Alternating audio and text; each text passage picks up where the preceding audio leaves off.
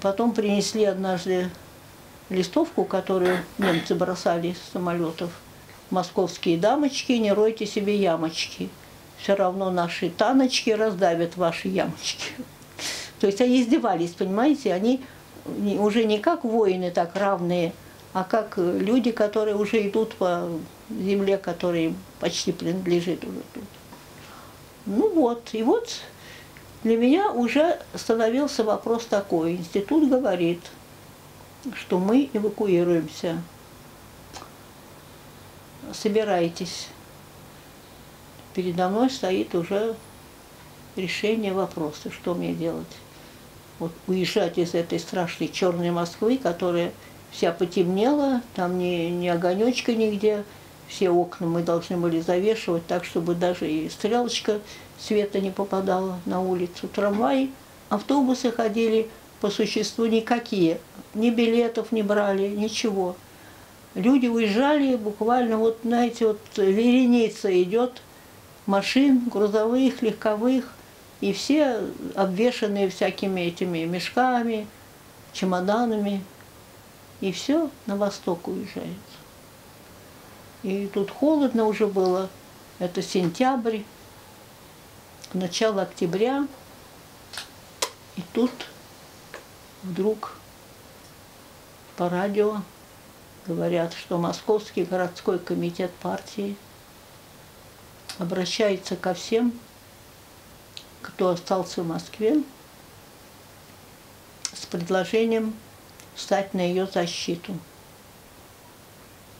А мой институт уже через два дня, уже все сказано, куда явиться, на какой вокзал, на какой поезд, едет в Алма-Ату.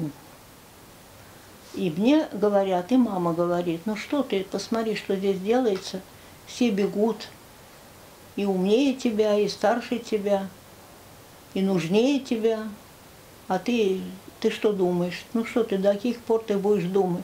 Видишь, как здесь страшно все. А там Алмата, там солнышко, там всегда светло, там фрукты, там тишина.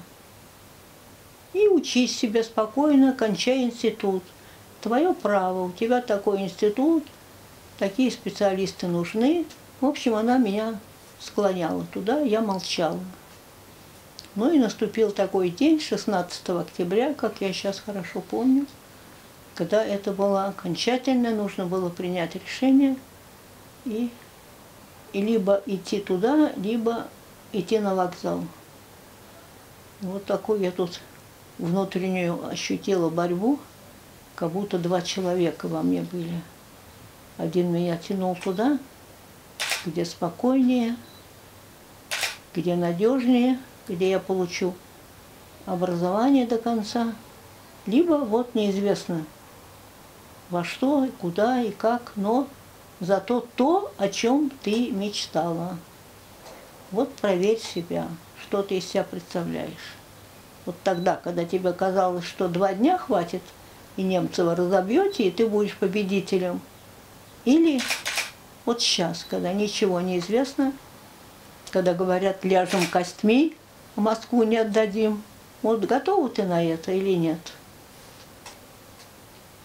Я пошла в комитет комсомола и сказала, что я иду в эту дивизию, ополченческая московская дивизия.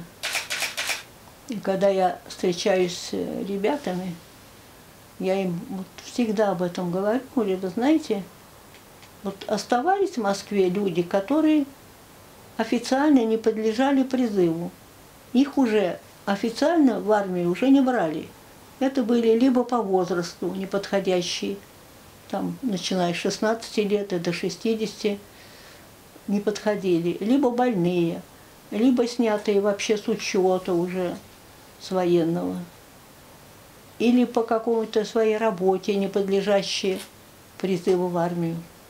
И в течение двух дней просто так, просто по одному только вот такому слову, что надо идти на защиту Родины и Москвы, собралось 11 тысяч человек.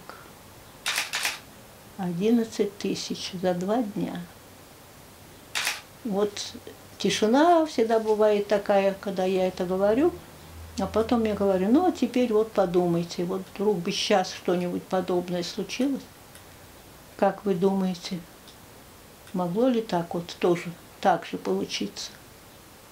Молчат. Я говорю, а я думаю, что даже и 11 человек бы вряд ли пришли бы за это время. Ну вот, вот так началась моя уже другая совершенно жизнь. Я дома пока ничего не сказала, пошла своим этим направлением по адресу, который там был. Ну, прихожу, показываю свои те самые заслуги. А мне говорят, ну, медиков у нас много, надо к ним, на, к нам приходит много всяких медицинских работников. А вот в разведку не хочешь? Ой, хочу. Ну вот. И вот они мне, командир этой разведки взял меня, пойдем, так положил на плечо мне руку. А они квартировали в какой-то школе. Сейчас я уже не помню, знаю только, что это было в переулке около метро Аэрофлот. Аэропорт. Вот. И там значит, школа была, которую, конечно, опустошили, уже уехали все. И в этой школе располагалась вот эта вот собранная дивизия. И он меня так завел в комнату, и там смотрю еще, значит, несколько девчушек, таких, как я. А он говорит, ну вот, Наташа, вот теперь это твоя семья до самого конца войны. А у нас так. Это уже семья, и теперь, что бы ни случилось с твоим другом, товарищем, ты сам погибни, но его не оставь, даже тело не оставляй никогда на погибель врагу. Так у меня эти слова зашли глубоко. Вот я так посмотрела на него и подумала, я сможешь или нет, думаю, смогу. Как раз вот с левой стороны от нас сражались вот эти знаменитые 28 бессмертных. А к нам э, остатки э, танков, которых они оттуда прогнали, они шли значит, сюда и должны были с нами сражаться. И всех, кто были, всех приказ был отдан такой, все до одного поднимаются, идут на рубежи. Ну, наш командир пытался там, пытался объяснить, что мы, мы приезжие, мы разведку проводили, никто ничего не слушает, нужен каждый человек, и, в общем, все должны пойти туда. Нас построили в виде такого вот э, четырехугольника на площади этой э, сельской. Мы так вот такой цепочкой стояли – и в это время там из какого-то дома вышло три человека, и один из них, видно, самый старший генерал. Они прошли так, и в наш этот четырехугольничек зашли. И он начал с этого конца, этот генерал, начал и так идет и говорит, что вот э, деваться некуда, вот это наше, либо мы победим, либо мы погибнем, у нас другого выхода нет за нами Москва, как вы знаете, значит, все. Либо мы тут побеждаем, либо, значит, остаемся здесь. И вот он так потихонечку обходит вот это вот каре наше и доходит. А мы последние, потому что мы посторонние были. Мы к ним, значит, с этой стороны примкнули и стоим такие довольно унылые. Он так прошел, подходит, так потом, потом так ко мне подходит. А меня обычно вообще, сколько мы там не были, вот шли по деревням, иногда женщин там выходили, нас так крестили даже иногда, вот крестом благословляли как бы на бой. А на меня всегда считали, что ой, да какой маленький, какой молоденький солдатик. Я у них была все равно как мальчишка всегда. Подходит ко мне и так, вот, девушка, говорит, я говорю, да. Он что, санитарка? А я почему такой очень обиделась, почему санитарка. Я говорю, нет, я доброволец. Он говорит, ну, ну хорошо, что доброволец. Вот. А тут ребята начали ему говорить, что, ой, вы знаете, она, она сейчас только подвиг такой совершила, товарища вызвала, вытащила. Она, он говорит, да, вот так взял меня на плечо, руку положил, и повел меня. Думаю, куда он меня ведет еще. А он меня взял и в самую середину этого каре поставил так вот и стоит рядом и говорит, ну вот, ребята, вот видите, кто, кто с вами будет. Вот чтобы вам было бы стыдно, если кто-нибудь из вас дрогнет, если у кого-нибудь из вас появится желание как-то спрятаться или куда-то. Вот это, это говорит, девчушка, вот эта я худенькая вот очень такая. Вот эта девчушка будет с вами всегда вместе, за весь свой бой она будет с вами. И вот пускай вам будет стыдно, если вот что-то у вас вдруг появится, какое-то желание куда-то спрятаться. И вот он и потом так наклонился и говорит, спасибо тебе, доченька. Я прямо чуть не расплакалась тут прямо от радости даже.